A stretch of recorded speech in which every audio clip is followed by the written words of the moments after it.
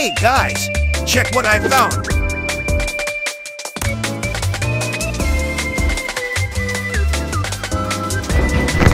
Wait, wait, wait!